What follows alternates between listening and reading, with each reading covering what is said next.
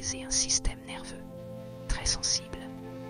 Avoir un système nerveux très sensible peut être à la fois une bénédiction et un défi.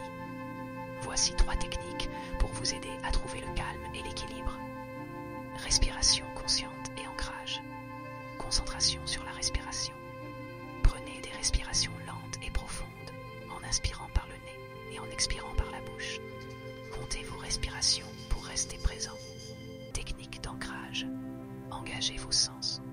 Remarquez cinq choses que vous pouvez voir, quatre choses que vous pouvez toucher, trois choses que vous pouvez entendre, deux choses que vous pouvez sentir et une chose que vous pouvez goûter. Cela vous ramène au moment présent. Relaxation musculaire progressive. Libération de la tension. Contractez et relâchez différents groupes musculaires de votre corps, en commençant par les orteils et en remontant progressivement. Cela aide à libérer les tensions physiques et favorise la relaxation. Relaxation guidée. Utilisez des guides audio ou vidéo pour vous guider tout au long du processus. Mouvement doux, yoga ou tai chi.